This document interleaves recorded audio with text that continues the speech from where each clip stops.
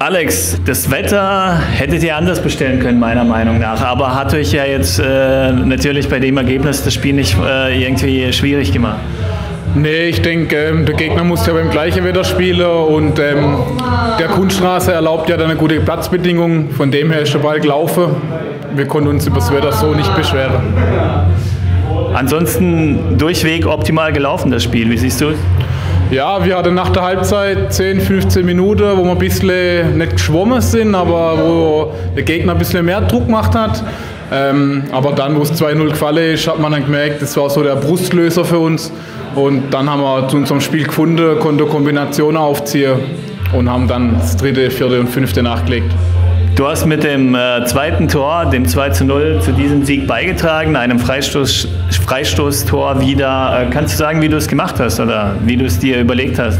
Ja, also eigentlich bin ich ja nicht bei uns der gesetzte Freistoßschütze, aber da ich letzte Woche eine ähnliche Position hatte zum Freistoß und den auch reingemacht habe, habe ich mich heute halt wieder hintraut und Gott sei Dank ist der Ball dann heute halt auch wieder reingegangen. Sind wir glücklich drüber. Was sagst du zum äh, Rundenverlauf bis zur Winterpause jetzt? Ähm, kann man zufrieden sein? Ähm, es ist ja, denke ich mal, so in etwa eure Zielvorgabe gewesen. Ja, also das Minimalziel dritter Platz ist für uns erreicht. Wir hätten sicherlich vor ein paar Wochen nicht gedacht, dass wir da jetzt stehen. Aber es ist jetzt schön für uns und hätte man in den ersten paar Spiele vielleicht mehr Punkte geholt, wären wir vielleicht noch weiter oben dran an den beiden. Aber wir sind jetzt erstmal zufrieden und gehen glücklich in die Winterpause. Du hast die Winterpause angesprochen. Ja, was wird da alles passieren und äh, was ähm, werdet ihr euch da für die Winterpause vornehmen?